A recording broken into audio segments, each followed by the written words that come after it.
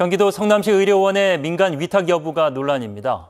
성남시 의회가 위탁을 의무화하는 조례를 논의 중인데 전국에서 처음 주민발의 조례로 설립된 공공병원인 만큼 반발이 거셉니다.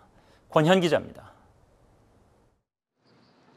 성남시 의료원 운영조례 개정안이 성남시의회 문화복지위원회에 상정됐습니다.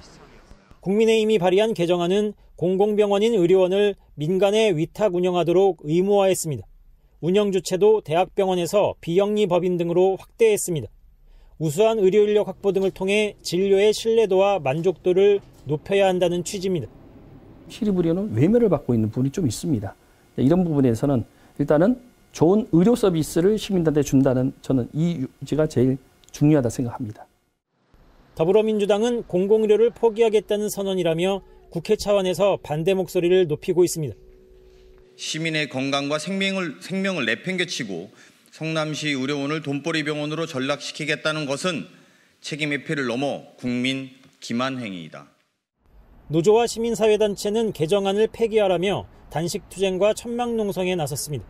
전국 262개 단체가 폐기를 촉구하는 공동 성명에 참여했습니다.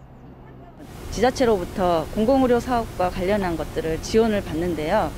이것들을 다 어, 수탁기관에서는 어, 환자 부담으로 어, 할 가능성이 매우 크고요. 성남시의회 다수당인 국민의힘은 물론 성남시도 민간 위탁에 찬성하고 있어 개정안 상정을 시작으로 논란이 확대될 전망입니다.